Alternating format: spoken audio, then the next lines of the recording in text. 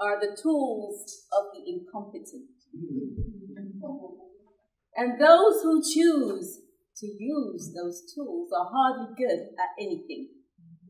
Fellow Toastmasters, honored guests. If I didn't know better, I would say that the author wrote that about me. As an adolescent, I was the queen of excuses. My excuses had their own excuses. As a matter of fact, my grandmother would look at, look at me quite often and she would say, Little girl, you have a plaster for every sore. Interpretation. You have an excuse for everything. She was right. My parents spent quite a great deal of money sending me to piano classes, horseback riding, dancing, acting, whatever took my fancy at the time. I would be so excited in the beginning. And then I would become apathetic, make an excuse, and quit. I did that over and over again. One day my father sat me down and he said, Do you know you never finish anything you start? Do you also realize that you're setting yourself up for failure in the future? He also said, I am tired of wasting my money.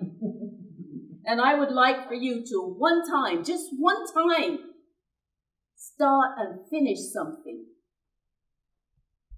That was a reasonable request. What you, what you think? I thought so, but I continued on the path of excuses. My favorite excuse? I'm cold. But I lived in England, so everybody was cold. That didn't work out for me. and then, I'm tired. Now, my mother, she got tired of me saying that I was tired and took me to the doctor. He told my parents after a very comprehensive examination that I was anemic. Ooh, I've got a medical excuse now. and there's nobody at all can tell me anything because I was going to run this excuse to the ground. I thought of ways to use it. But before that, when they told when he told my parents about the anemic, I laid my head down on his desk and started saying, I'm going to die. I'm going to die. The doctor looked at me and said, Stop being a ninny, you're not going to die. my mother said, Oh, rubbish. I never heard such rubbish in my life. And my father, the one that was supposed to put his arms around me and comfort his little girl in the time of need, he said, Oh, Cod's wallop. Beverley, stop it. I didn't get any love that day in the room. no compassion at all. However, on the way home, I thought of all the ways I was going to use this anemic excuse. Someone will say to me, Go and wash the dishes. And I would say, Oh, I would love to help out, but you know, that anemic is really bothering me right now. and my parents would say, Go and help your brother shovel the snow. And I would say, oh, that sounds like so much fun. I like to go out there and play and have fun in the snow, but that anemic is really acting up. I can feel it. When we got to the house that day, we walked in and my mother said, Go upstairs and tidy your room. The doctor is coming over later. In England, they used to do house visits. I looked at her and I says, What money? You were right there in the doctor's office with me. You heard him say, I've got anemic.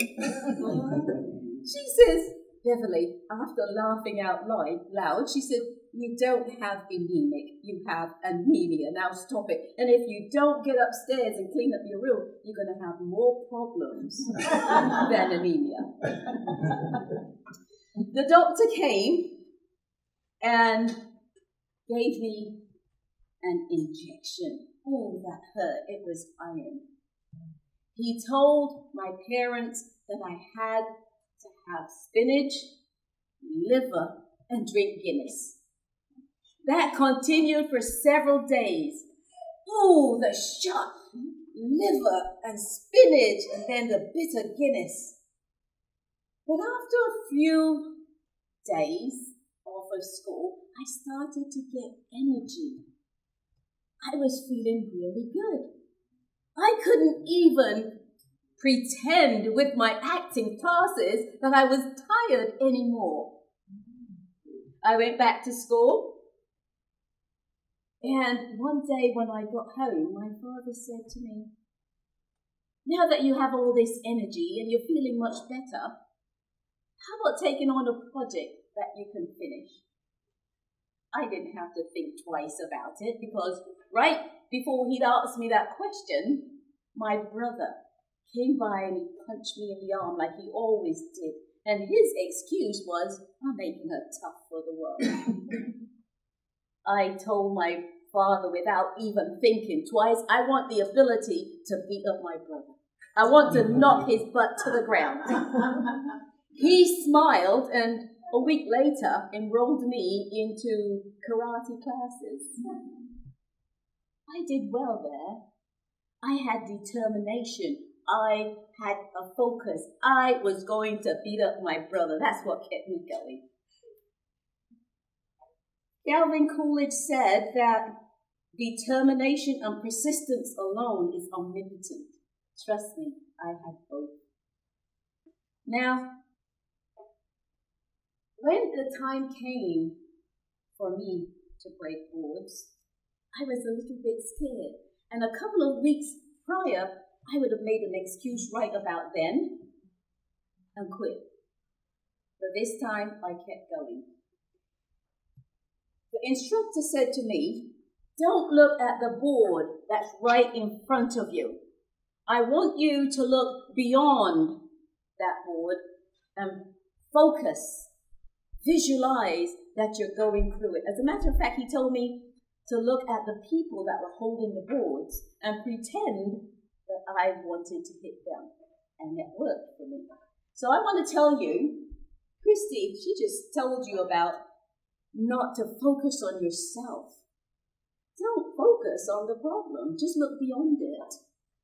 Now, I have heard, like I told you, I said I was the queen of excuses. Therefore, I can sniff out an excuse. If you come to me with one, I can smell it. I don't make excuses anymore. I'm standing here today after having surgery less than 48 hours ago. This big old ugly boot was not an excuse for me not to stand here. There are plenty of excuses, and some of them I like to share with you, and I'm sure you've heard some doozies. One of them, for example, what if it doesn't work out? You see, I am an MLM junkie. I love network marketing. And I'm going to tell you some of the excuses that I have heard. It's unbelievable. But what if it doesn't work out? Who cares? You just try and try again. Edison he tried 9,000 times before he made the light bulb. Some person asked him, Well, do you feel like a failure? Are you going to quit? He said, No. I found 9,000 ways how, how not to do it. Another excuse? No money. Well, that's fair. No money. But there's always other people's money. OPM. Colonel Sanders, he didn't have much money when he started KFC. He took $105 of his social security check and started his business. And I'm sure in the last week, how many people have had some KFC? Mm-hmm. right? It is global. Sidney Poitier was told at his first audition to go back to his hometown and wash dishes. Now listen, we know the end of that story, right? Oprah Winfrey, she had plenty of reasons why she couldn't make it. Oprah grew up uh, as a very poor girl. She was dirt poor. She was raped. She had a child that died in infancy. But she didn't allow that to hold her back. I read that Oprah right now in March, she is worth over $3 billion. Just imagine if she had taken those excuses, stayed at home and says, Oh, I can't do it. I'm too black. I'm a woman. And whatever excuse that she could use, I was raped. I was, and I'm not taking rape lightly. Please don't think that. But she did not use it as an excuse. She might have used it to push her forward. I'm too old. How many people have heard that I'm too old nonsense? Mm-hmm. Ida Kimlin was 99 years old when she ran a 100 meter dash. She won it at the age of 99 back in 2014. When some of us that half her age, and maybe quarter of her age, as I look around here, having a hard time just getting out of bed. This woman is out there running. How amazing is that? Not worried about breaking a hip or anything. She's she's just out there doing it. Time. Time is always an excuse. We are so busy chasing the almighty dollar doing this and doing that and on the cell phone. You know, you go to a restaurant you see people, they're still on their cell phone. They're not spending time with their families. What is keeping you from spending time with yourself, with your family? When I was in chiropractic college, I was studying with a friend of mine. We were outside. And all of a sudden, just stopped walked over to a rose garden. He picked two roses, handed me one, and started smelling the other. I'm like, what are you doing? We've got an exam tomorrow. We don't have time to smell roses. He looked at me and he said, Beverley, I don't know if I'm going to be here tomorrow. He continued by telling me that he had a terminal illness and he was actually on borrowed time. That was a wake up call for me. I stopped and I started smelling the roses. I'm asking you, don't be so busy with life that you can't take time to smell the roses.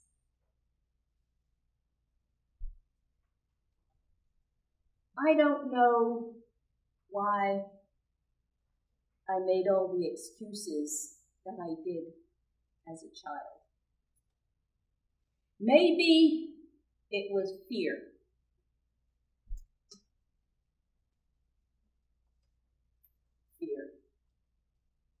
A lot of us have fear. When I admit it, some of us are afraid of flying. Some of us are afraid of standing up here and giving a speech. There are two ways you can handle fear. You can forget everything and run, or you can face everything and rise to the occasion. If you choose to stand and rise to the occasion, there are some things that you have to do. Do you remember the movie Forrest Gump? Who's seen that movie? Do you remember the bullies when they were chasing him and he had on his leg braces and he started running? Can't do that with his feet, but he started running and everything, the bolts came off and he realized that he could run. That is what I want you to know that sometimes, like Christy was saying, it's inside of you, but you don't know it's there. So just tap into it like she said, if you need a coach, I'm sure there are coaches in this room that can help you. I would like to say that Harriet Tubman said it best. When she said, if the dogs are after you, keep going. If you see the torches in the woods, keep going. If you hear them shouting after you, keep going. Don't stop. Keep going. Follow your dreams. Don't let anything or anyone stand in your way and stop the excuses. Madame